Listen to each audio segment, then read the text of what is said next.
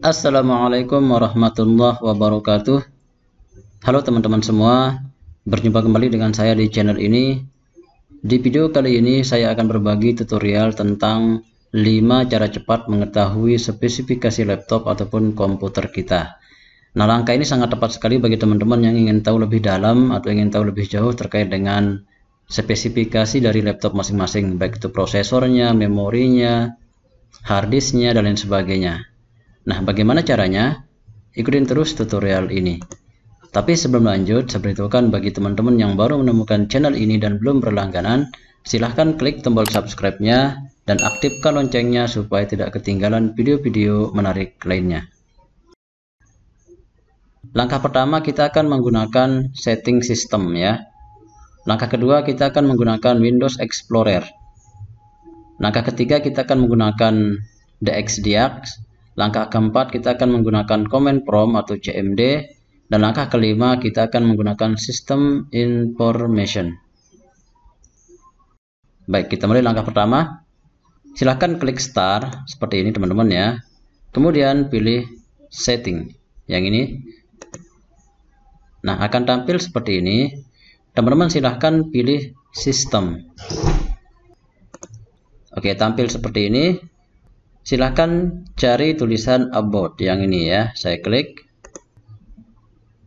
Nah akan tampil nanti di sini device specifications yang ini ya.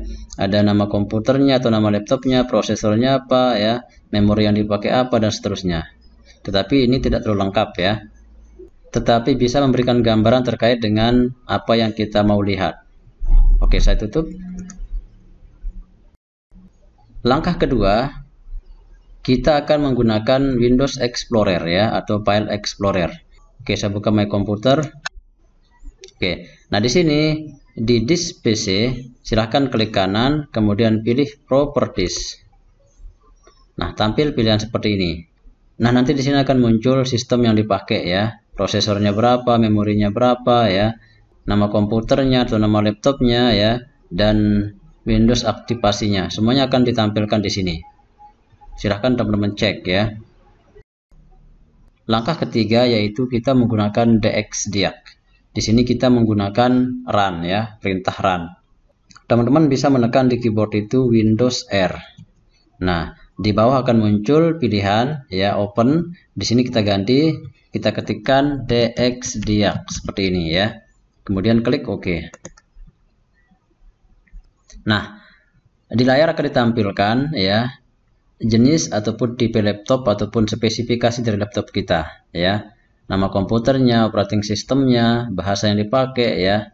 Terus modelnya biosnya bagaimana prosesornya apa memorinya berapa dan dan seterusnya. Semuanya akan ditampilkan di sini.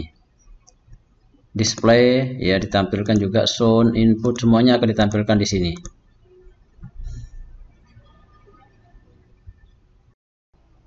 Langkah keempat yaitu kita menggunakan command prompt ya atau CMD. Nah, di sini teman-teman bisa ketikkan di search yang ini ya.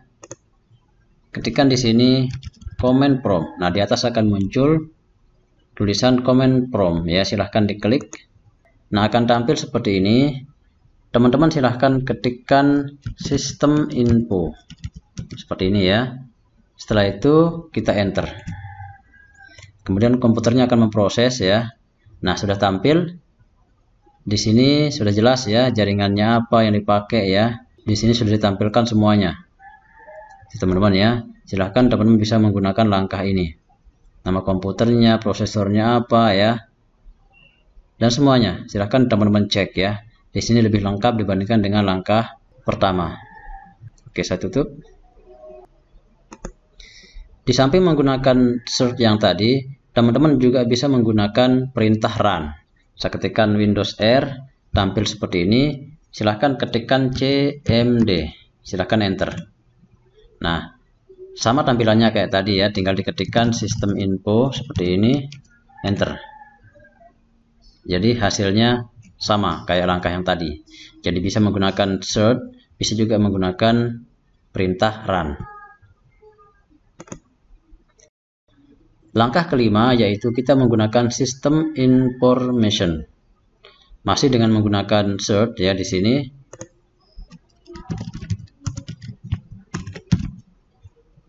System Information. Nah, di atas sudah muncul, silahkan diklik. Nah, di sini sudah muncul ya, nama komputernya atau nama laptopnya ya, versionnya apa, prosesornya apa dipakai ya, BIOSnya apa ya, prosesornya, dan semuanya. Semuanya ditampilkan di sini. Itu ya.